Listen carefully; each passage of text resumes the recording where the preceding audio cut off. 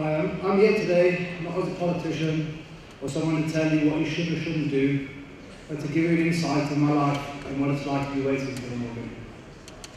I'm waiting for a heart.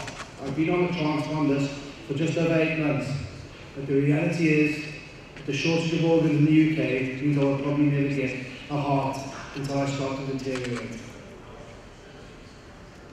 And then placed on the emergency list where I'll be admitted to hospital until a donor is found or I cease to exist. Three years ago, I was cut down on my prime whilst training with Scarlet. I had a huge heart attack which left me fighting for my life, and I had a quadruple bypass. My life changed forever. I went from being a professional rugby player to being disabled. I found this a bitter pill to swallow, not only physically but mentally too. In the two years after this, I started to deteriorate rapidly, to the point where I was told I needed an emergency transplant.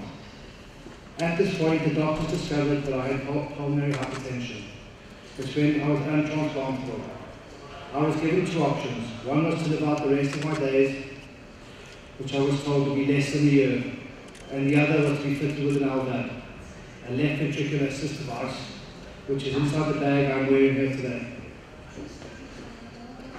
This machine helps, to, helps me to do the work of my heart, which enables me to get through my basic day-to-day -day routines.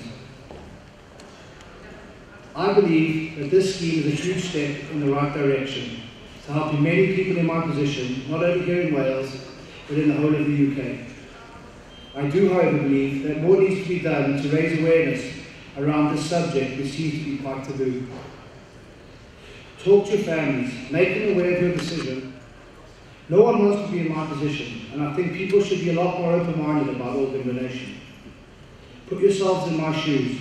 I have a young family and heaven forbid you or any of your family needed an organ, your opinion would change instantly. I've spent a lot of time in hospital over the last three years and have seen the elation and new lease of life an organ can bring.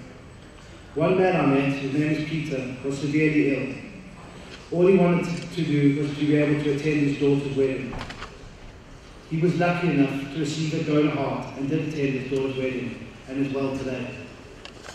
I have also witnessed the utter devastation of a loved one that passed because an organ could not be found in time. Ian was my, in my exact position and had an LVAD and became ill, but unfortunately a donor was not found in time and he's dead.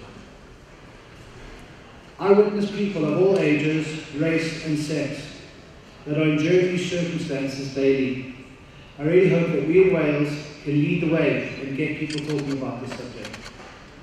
Hopefully, in the next few years, I can be so lucky as to receive a heart, so that my children will have a daddy that can continue to embarrass them for many years to come.